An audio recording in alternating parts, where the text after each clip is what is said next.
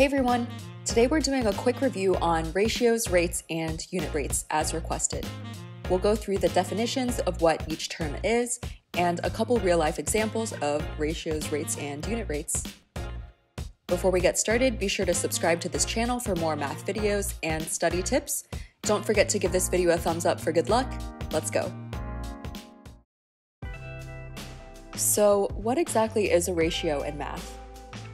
A ratio is a comparison of two quantities. If you look at our first example, which is this group of people, we'll notice that there are more boys than girls. So we can say the ratio of boys to girls is three boys to two girls. You can write the ratio as 3 to 2, or 3 colon 2, or 3 over 2 but out loud, you would just say that the ratio of boys to girls in this group is 3 to 2. You can also flip it and say the ratio of girls to boys is 2 to 3. Either way, you're saying the same thing that there are more boys than girls in this group. If we look at another example, say I'm making this fruit salad and I want to incorporate some strawberries, but I like blueberries better. So I want a higher ratio of blueberries to strawberries. If you see here, I have one, two, three, four, five, six blueberries and one, two, three strawberries. So the ratio of blueberries to strawberries is six to three, which can also be written in these different ways. We can also talk about simplifying the ratio, just like how we simplify normal fractions. If you divide both numbers by 3, the ratio of blueberries to strawberries simplifies to 2 to 1. This actually tells you that for every two blueberries, you have one strawberry. This all sounds super abstract and useless, but in real life, you'll hear ratios used in statistics like you have a 1 in 292 million chance of winning the Powerball lottery, or just in everyday life, for a chocolate chip cookie recipe, your ratio of flour to chocolate chips is 3 to 2, which means for every 3 cups of flour, you use 2 cups of chocolate chips. So then, what are rates? Remember how a ratio is the comparison of two quantities? A rate is actually a specific type of ratio. A rate is also a comparison of two quantities, but with different units.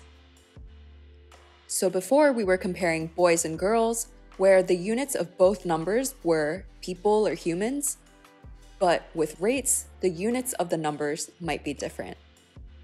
In the real world, you'll often see rates as it relates to time. For example, you'll hear about miles per hour or kilometers per hour if you're outside of the United States and this is in the context of speed or driving or traveling. Let's look at if you're on a road trip from Los Angeles, California to San Francisco, California. The distance between these two cities is 360 miles. It'll take you about six hours without traffic to get there. So the rate you'll be going is 360 miles per six hours. Whenever you hear the word per, this means division. So you can actually write this rate as a fraction where the miles goes on top and the hours go on the bottom. We'll talk about unit rates a little later, and that's where we try to make the number on the bottom equal 1. You'll also commonly see rates that include money. For example, if you're at a store buying one of those huge packs of bottled water, let's say it costs $4 to buy a pack of 32 water bottles. So written as a rate, we have $4 per 32 water bottles, which we can also write as $4 over 32 water bottles. Another real life example includes heart rate. So, for example, if your heart rate is 60 beats per minute or 60 BPM, that means that your heart actually beats 60 times every minute. If your heart starts beating faster during exercise or if you're anxious, your heart rate might go up to 100 or more beats per minute.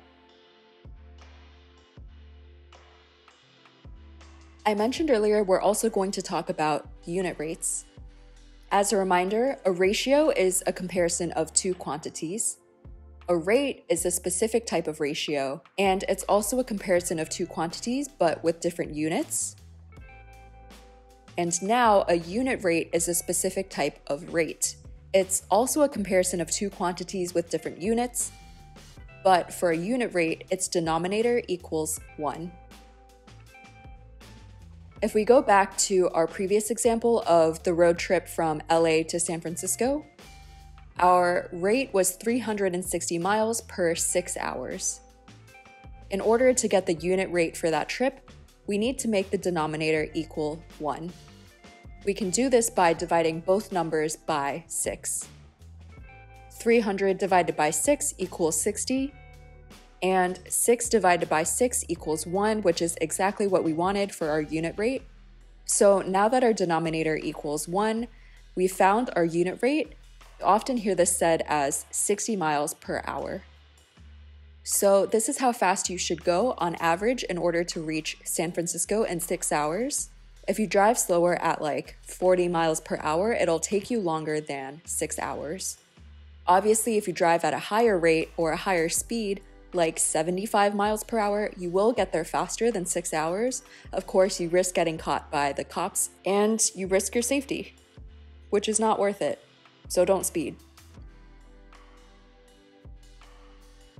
For our second example, when we were talking about rates, if we wanted to figure out how much the unit rate of each water bottle is, we want to make the denominator equal 1.